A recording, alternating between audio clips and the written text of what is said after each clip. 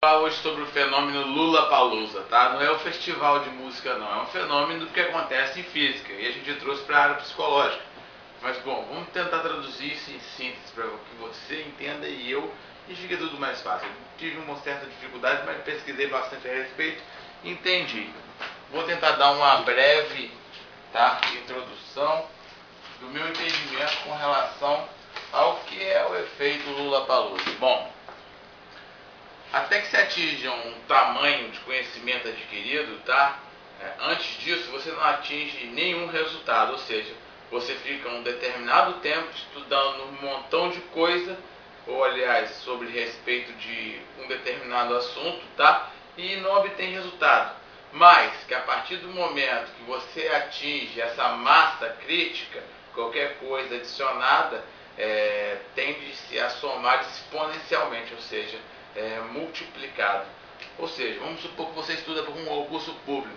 Tu fica aí durante três anos estudando duas horas somente por dia. Eu gosto de citar o somente porque é muito pouco. Depende, você quer passar num concurso público, o ideal é que se estude mais. Pensa na recompensa de ganhar bem mais do que você está ganhando atualmente. Mas vamos lá. Vamos supor que você fica durante um determinado tempo estudando. Bom, até esse determinado tempo você atingir uma massa crítica tá, de conhecimento, bom, você não vai conseguir quase que resultado expressivo nenhum. Você pode até passar em último, penúltimo, ali na como é que fala? repescagem, né? na rechamada, ser classificado e talvez não ter sido provado dentro do número de vagas. Bom, mas que a partir desse determinado dado conhecimento, ou seja, desse momento crítico que o conhecimento se, começa a se acumular, bom, qualquer coisa que você venha a acrescentar soma-se exponencialmente. E o Lula Palusa né, é um efeito que acontece da física que a gente pode trazer para o nosso conhecimento diário. Então, ou seja, que a gente acumula. Então, às vezes você está trabalhando em determinado assunto, não está atingindo resultado, lembre-se desse efeito Lula Palusa, né?